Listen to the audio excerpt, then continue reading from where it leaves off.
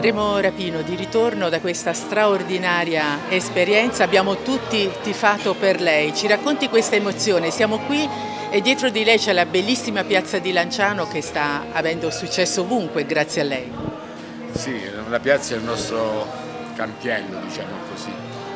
C'è quei luoghi in cui i veneziani si incontrano, parlano, si raccontano storie, speranze, delusioni, forse imparano anche a volersi bene. Io credo che ogni luogo, ogni piazza sia, abbia questa funzione. L'esperienza è è stata molto bella, un viaggio bellissimo e vorrei così rifare riferimento a una poesia di Cavafis che si chiama Itaca, dove il poeta greco ci dice che quando si va verso Itaca non è tanto il problema di raggiungere Itaca, di approdare all'isola, quando piuttosto è quello che si incontra lungo il viaggio.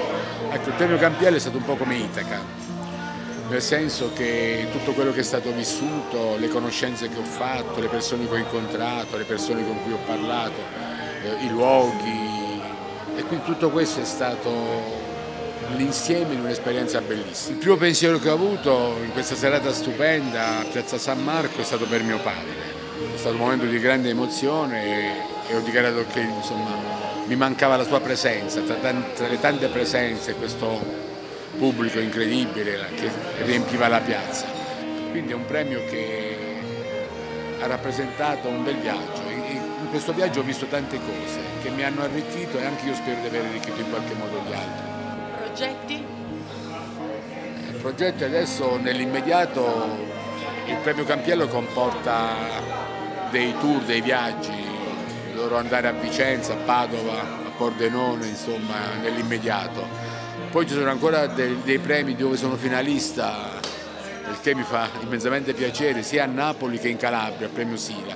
Sono due premi molto importanti, oltre a Roma anche un altro premio, pure il premio Subiaco.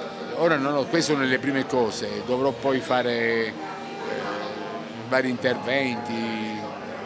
Sto pensando ma con molta, con molta lentezza ad altro, però Liborio è un'esperienza chiusa, finita qui, insomma, non è più ripetibile, sarebbe molto strumentale e pensare a qualche cosa che, che, verrà prima o poi, ho, ho, molte idee in testa, spero che Liborio abbia un seguito, perché già Gifuni ne ha fatto un audiolibro, a livello di riduzione teatrale addirittura qualcuno parla di film, io spero che, che trovi un'altra collocazione artistica, insomma, oltre alla scrittura.